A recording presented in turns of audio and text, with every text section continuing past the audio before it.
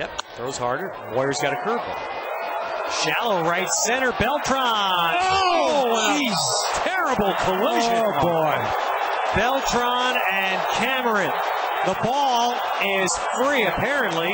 Oh, man, that's That a is nasty collision. Absolutely of little concern right now. That's as bad a collision as I've seen. Oh, Well, Theodore of the Mets years ago had a horrible co- collision like like this. This could be very serious. These guys made contact. Head Leave to head, head, head to head.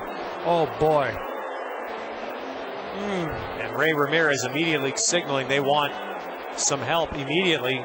That's Cameron. They're also holding Beltran down. There was no give to that collision. When you're on your feet or you're jumping up in the air, sometimes there's a give to the collision.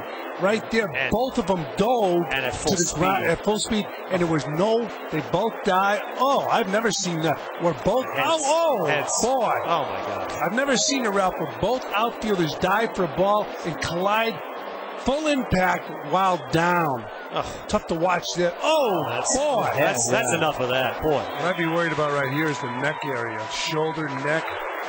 Well, this is this is a blessing right now that at least one man can stand after that. Cameron obviously is in some distress, but the, that to me is a miracle that Beltran can even stand up. Ray Ramirez, the Mets trainer, will go with Cameron.